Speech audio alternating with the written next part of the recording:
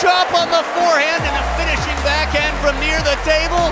This is the magic that gives Timo his middle name. Who does this? That is a specialty skill that is not on his resume, but there's nothing that's not on his resume at this point.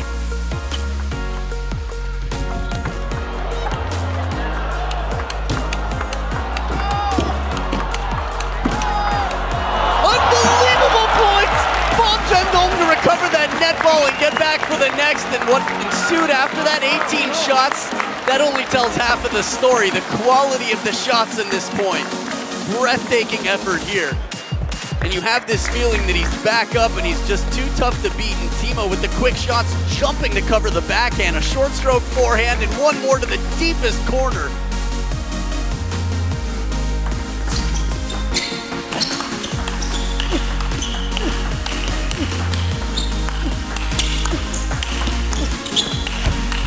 Incredible points!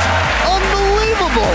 Every shot in this rally you're watching and it just gets better and better. Timo Boll with the most quality backhands we've seen and the pressure comes back from Harimoto time and time again. The focus. This could go down in one of the all-time classics for Timo Boll.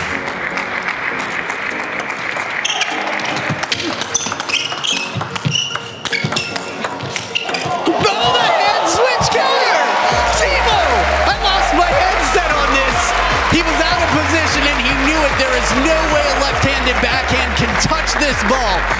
Timo Boll, not even touched.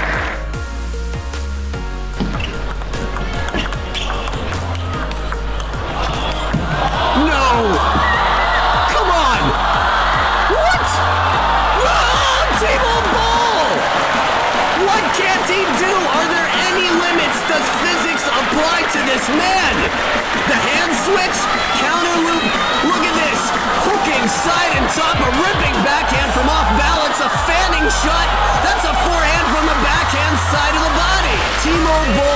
Just keeps raising the bar.